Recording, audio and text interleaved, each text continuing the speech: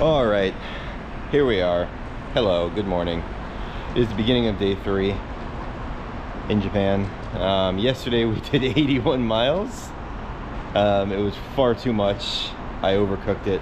I mean, I got it done, but it was very, very challenging, just mentally and physically. So today we have a measly 30 miles. However, we have about 3,000 feet of elevation. So we're gonna take it slow. We're gonna see how it goes. Uh, I see the blue sky. I'm looking forward to getting out there. Let's do it. Okay. Here we go. Today we are going to try navigating using Strava. Main reason is yesterday um, I was using Google Maps. Everything was great, but sometimes it hits a point near the end of the ride where you're really tired and you just start looking at that mileage thing and watching it tick down and being like, okay, when's it gonna go to seven? When's it gonna go to six? And uh, it can tend to just be kind of stressful. So for today, I'm gonna try not having my mileage counter there so that I won't be looking at it constantly. Um, and we'll see how that goes.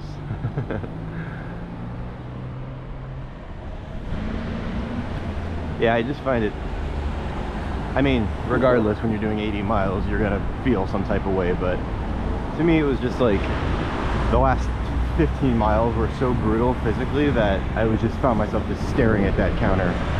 And ultimately, that's not what doing a ride like this is about and not how I want to spend my time. So, I think we'll just give it, a, give it a try today and see how it goes. Still have Google Maps available and you know, I could be checking it. But, you know.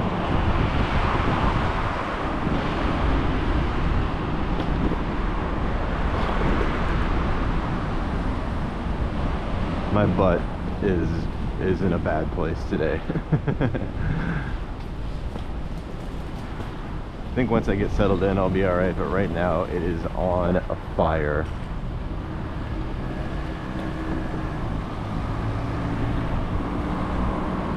but first time I've seen real sunshine like this in two days and it feels incredible. So I'm really really into that right now. Spirits are high starting in the morning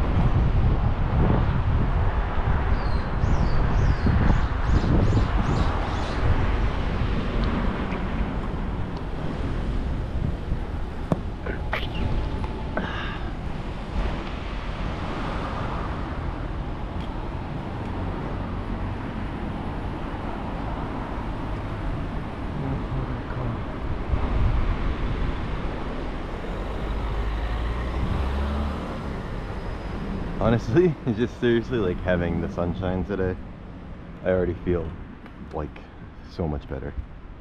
It's crazy how much of a difference that can make.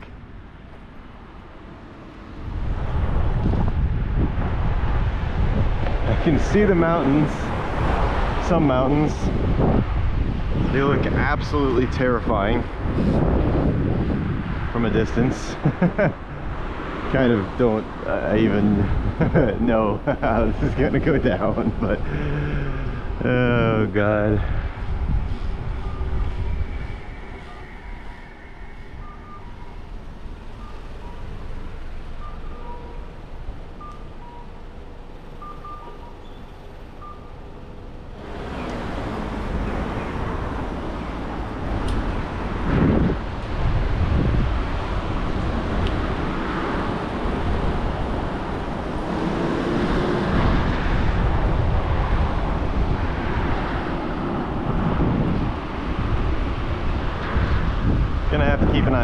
food today. I ate well yesterday for sure, but this morning breakfast was a little light.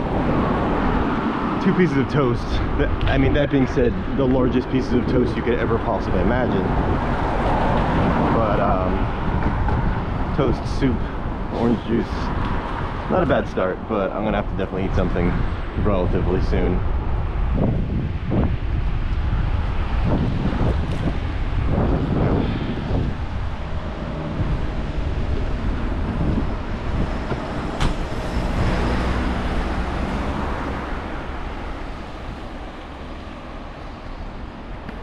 Put the glasses on today.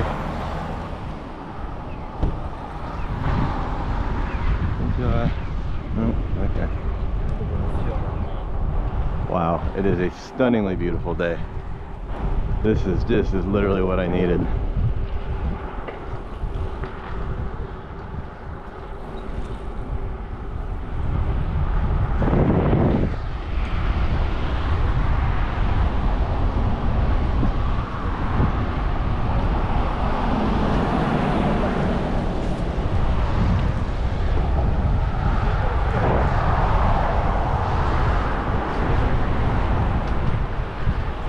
So we're in the city of Takasaki. Seems like a really nice city. It's really populous and full of people and life. Didn't really get much of a chance to see it yesterday. Got in at seven, almost seven, and went to onsen, eight and went to bed. One thing I'm gonna try to do more on this trip is slightly shorter rides so that I can actually explore the cities that I'm ending up in. um, so we'll see how that goes today. But beautiful town. Takasaki. I mean, just spotless, obviously, and gorgeous.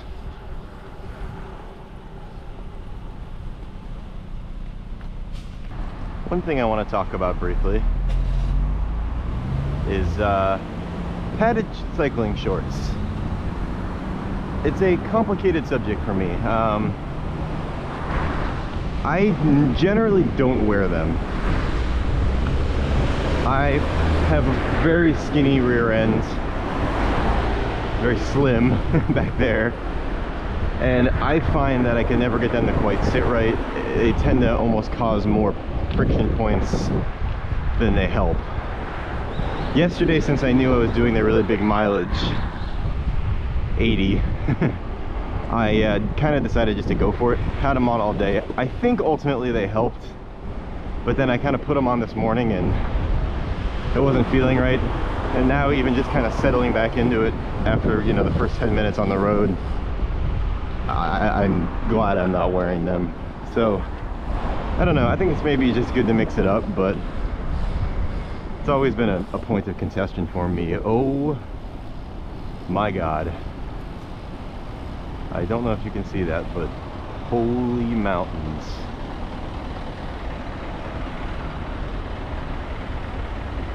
And boys here.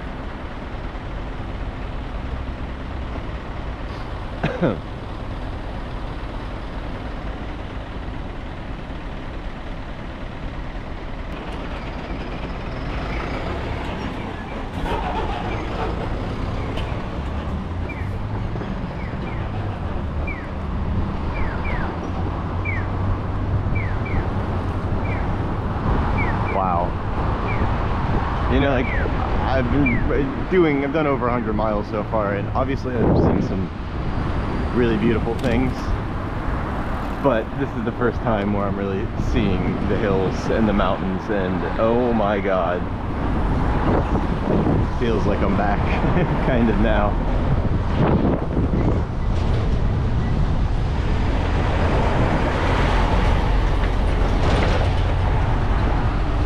Damn, heavy bike traffic today. Look at this. All the kids are commuting.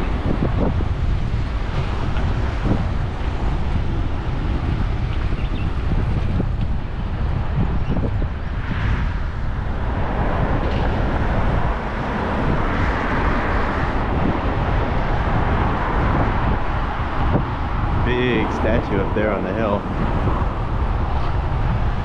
That thing's huge.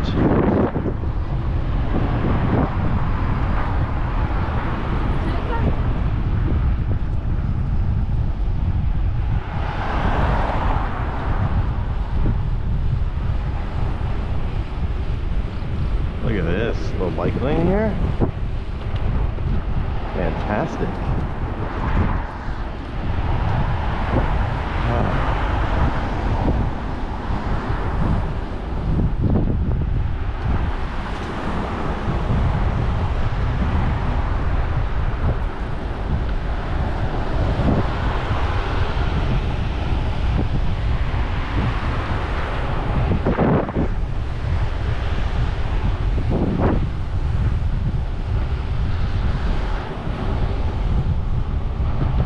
Gonna do a drone shot today.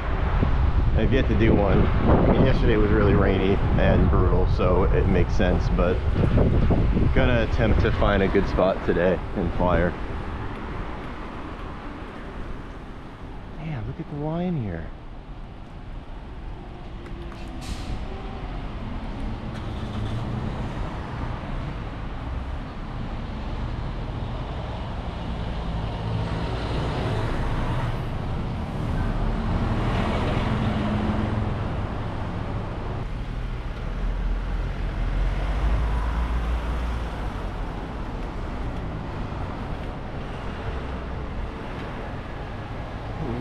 God.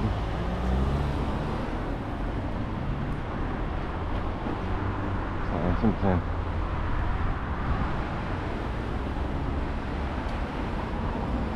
Wow. Stunning day. Just stunning.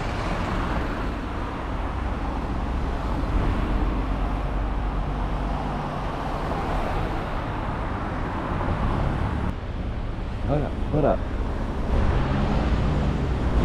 Taking the bike around here.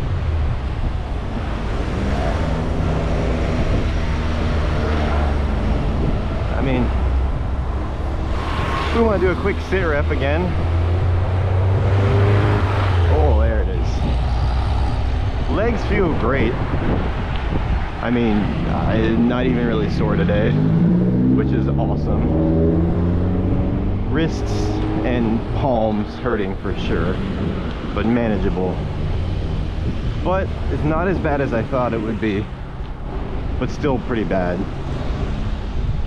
Sitting down in the onsen last night was heavenly. But uh, yeah, it's gonna be for sure the weak point today. Overall though, I've been sleeping really good, which I think is arguably the most important. When you can get that full night's sleep, mean, I slept for like seven hours last night, eight hours almost, and that just goes such a long way.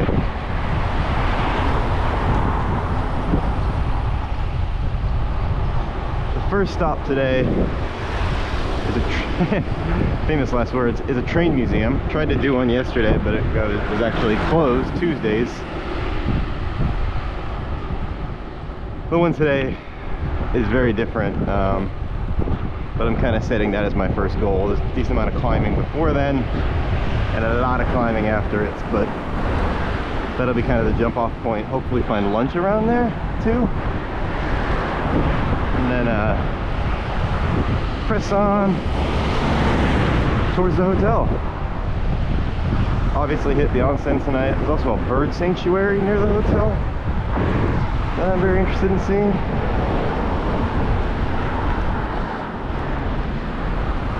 Sorry, blowing that one. I can't wait for that one right now.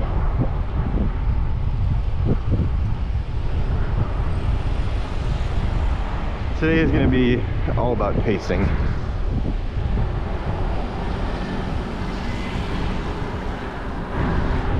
Like I said, low mileage, but very high uh, climbing. Might actually be some of the highest climbing of the whole trip, but I, I don't really know. We'll see. It's also tomorrow and the day after that. Oh! So.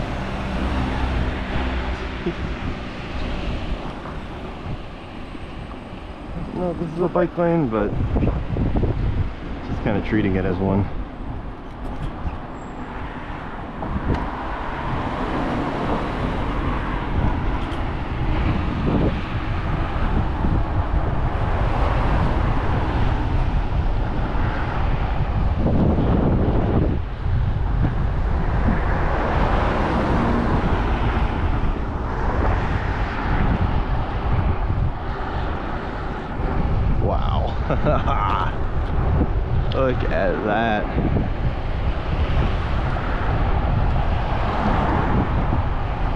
incredible.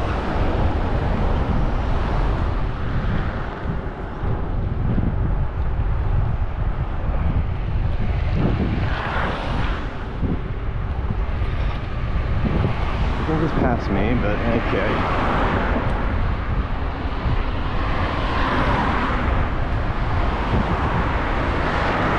The constant battle in Japan. The sidewalk versus the road. Talked a lot about it yesterday. Probably going to talk more about it today.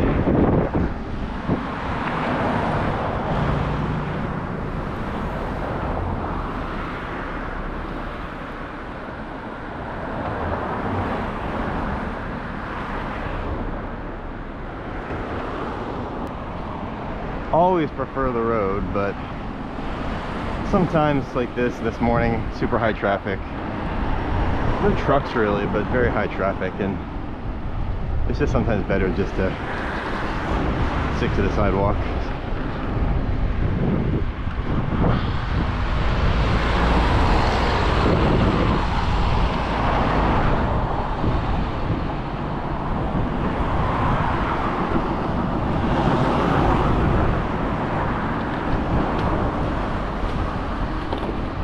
Oh. It's gonna be a lot of low and slow today.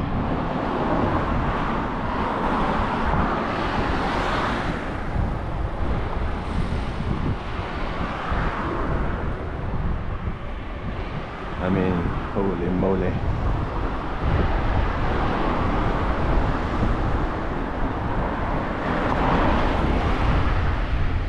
I think I've talked about it before, but one thing I've noticed is that obviously in Japan, in the street, they drive on the opposite side. Now, you would think that on the sidewalk, where most bikes live, that would be the same. But weirdly, it's not because there's no consistency with it.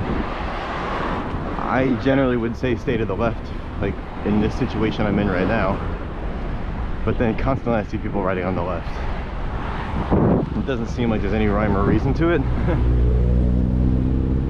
in the US, it's like, you know, generally walking on a sidewalk, we walk the same way we walk on a street, right? Right on the right and left, whatever. You say to the right. You would think it would be like that in Japan. And I, it's just not consistent. I don't know. I find it really odd. I almost hit a guy yesterday. I can't remember if I got it on camera or not, but I came around a corner and I was in the left and he was in the left. It's kind of like, you know, I, I just don't know. I find it I find it very strange, but neither here nor there.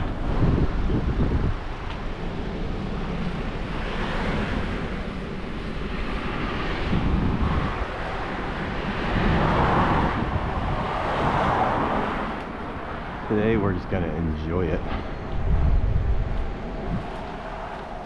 We are gonna go slow and we are going to enjoy. God, I'm gonna enjoy this, Derek. I mean, ultimately, I look back on yesterday as an incredible accomplishment, solo accomplishment for myself. I, I did enjoy parts of it for sure, but there was also large stretches where I was very uncomfortable.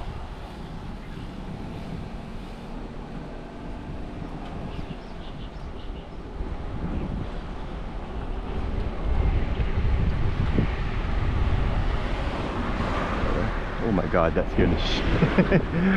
I forgot, forgot for a minute that the steering wheel's on the right and I thought that person was passed out at the wheel. Oh, that, that, that gave me a good jump scare.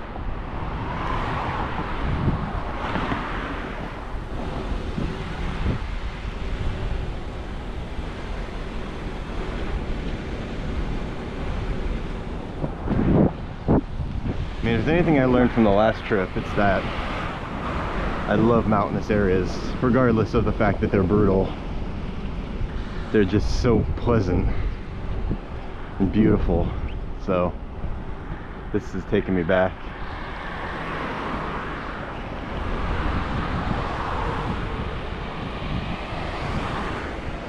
So yeah, I don't. I mean, I can't really tell which mountains I'm crossing yet. It's not those. I'm definitely going this way for the foreseeable future. So we'll kind of see.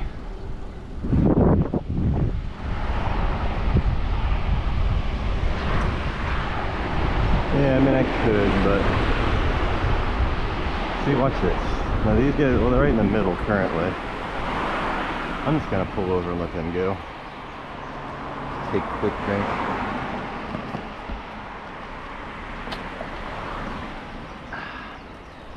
Konnichiwa.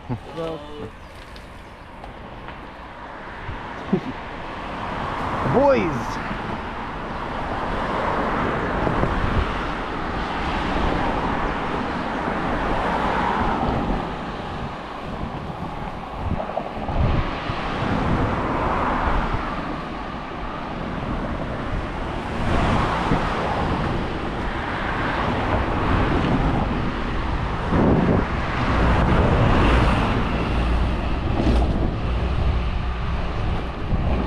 Gonna do laundry tonight at the hotel in theory. A lot of hotels in Japan especially business hotels this one's not a business hotel but a lot of them have laundry which is incredible for travelers who are traveling light.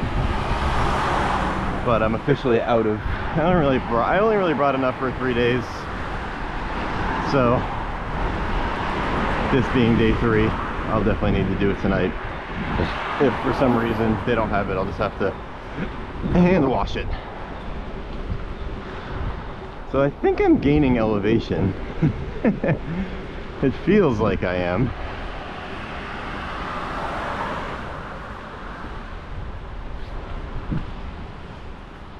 According to this Apple watch I'm 355 feet above sea level that doesn't really mean much. Even though I think I've pretty much been at sea level this whole time up until now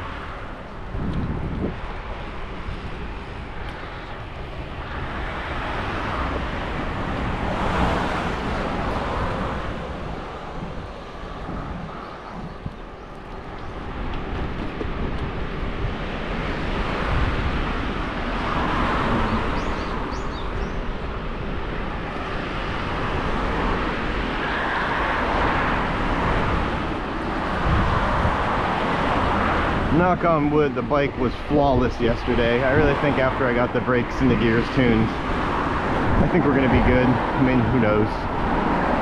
But yesterday, 81 in the rain.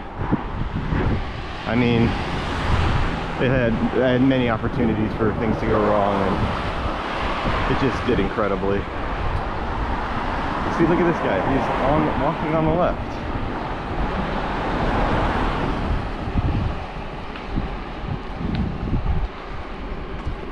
No. Most people don't like a, a good morning. This, I'm a good morning guy, so.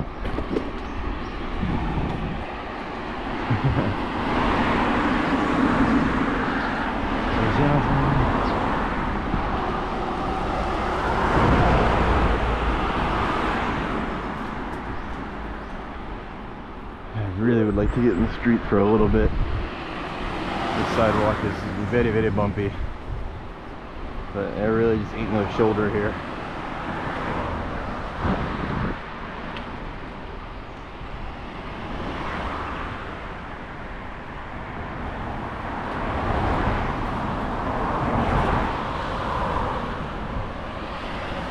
Oh, look at this guy.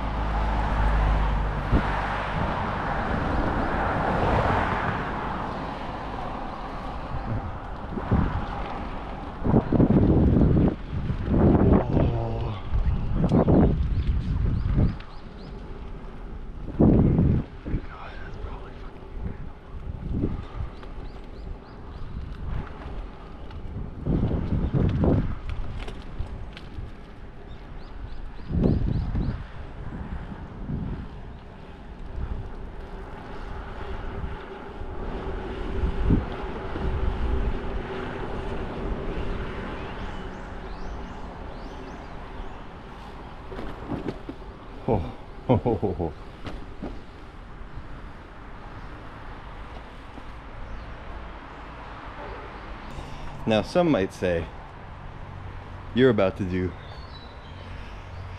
a bunch of mileage and a bunch of height. Why would you walk up a million stairs? Well, it's kind of part of the adventure.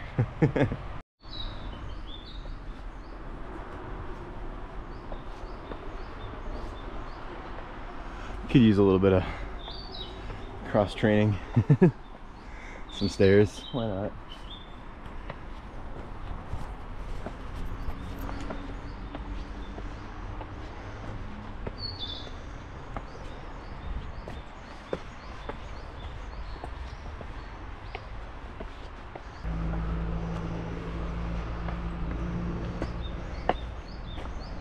I don't have any idea what's up here, but I guess we'll find out. Huge, huge fish here. Look at that.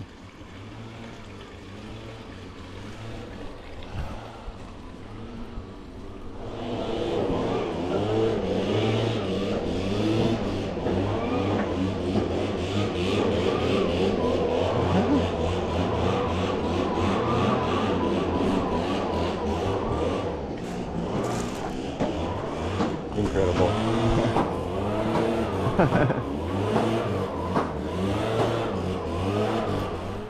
Well, that was a lovely little detour. I can't remember the name of these things, and it's really killing me right now, but it was clearly a temple dedicated to them. I got one from a gachapon, these little guys.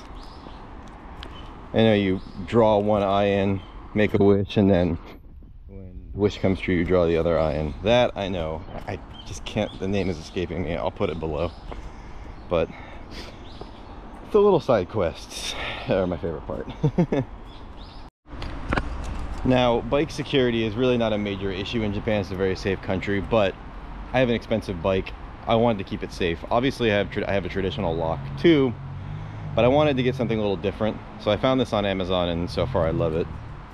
Basically, it's for motorcycles and bikes, but it's a lock you put on the disc brake so and it's also an alarm so this is just basically to show people that you have it that you have a lock but the bike can't roll right now obviously someone could take the wheel off and then steal the rest of it but eh, the chances of that happening are really slim so if it moves at all it gives you some warning beeps and then if it moves more i think for 10 seconds more it starts beeping really loud so basically you just put the key in and disable it. There's a little sample of the alarm for you. And uh, that's it. So far, excellent purchase. One more note about that lock. It is absolutely not meant to be a true safety measure. It's really just meant as a deterrent. Which, you know, goes a long way to be honest, so.